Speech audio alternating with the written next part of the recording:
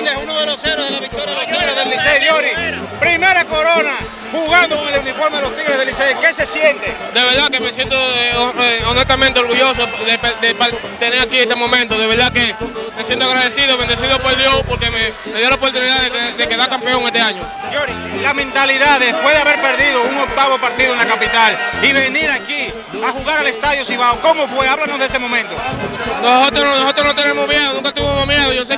pasamos por un momento malo, pero levantamos la cabeza y gracias a Dios pudimos ganar la corona y, en, el, campo de ellos que más se sufre. ¿A quién tú le dedicas este título? A mi gente de San Pedro, de verdad que a mi gente de San Pedro Macorís se lo dedico. Este tiempo es para ustedes. Gracias, Diores. Con el Licey, todo el mundo, con el Licey, con el Licey.